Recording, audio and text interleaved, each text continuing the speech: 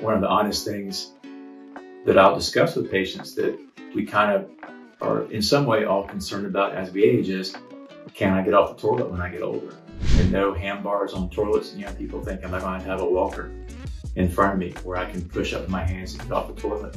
And so a lot of things have to happen to allow you to, to be able to, to do that. You got to have strong legs, you got to have a strong abdominal muscle and a strong core, pelvic muscles too. But it is a very real issue being able to get off, you know, get from a sitting position.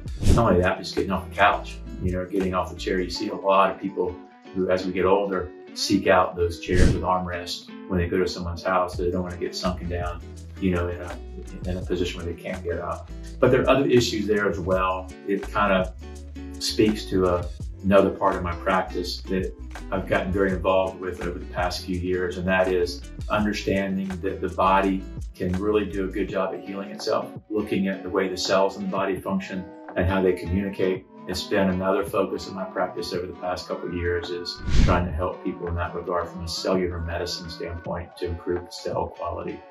Getting off the toilet is part of that, because your body needs to have strong muscles. You have to have strong skeletal muscles. You have to exercise as you get older. You have to do resistance training or HIIT training.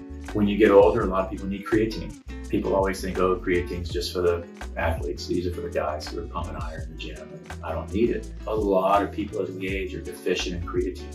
Your cells need it. And if it needs it, it'll pull it from your muscles. Then your muscles get weak. It's very important to supplement with creatine. Plus, a strong skeletal muscle system controls your ins insulin levels, controls your blood sugar. So working out, exercise, skeletal muscle, very important. And that's kind of a long answer to the toilet issue, but it's all related uh, to be able to get people to be able to function better.